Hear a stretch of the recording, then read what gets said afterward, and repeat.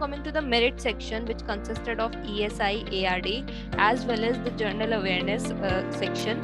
So, what were the sources that you refer for? In single word, EduTap.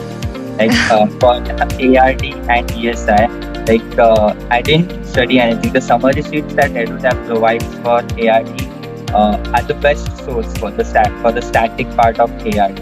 Because if you think about the reference book and other stuff, uh, you would like need a year to prepare for that. So the summary sheets provided by EduTap, I would uh, say that even you don't need to uh, read content sheet in so much thoroughly.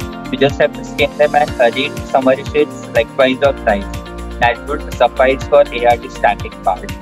Uh, for ARD current part, uh, again I used uh, the ARD material that EduTap provides. Uh, for ESI, I would say that uh, I use many different sources like EduTap as well as from other channels and sources by other classes.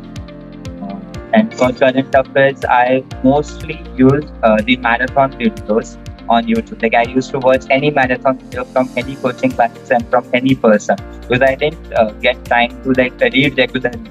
I was uh, I didn't read regularly or didn't make notes for current affairs this year. I was completely dependent on the marathon videos. I had notes for my ARD static and ESI static ready last year itself. So that was the material that I